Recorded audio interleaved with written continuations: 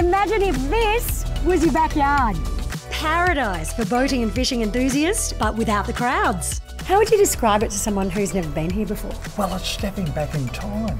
This isn't the big city, this is the little country town that's on the bay. It's like an old fishing village. It's, it's beautiful.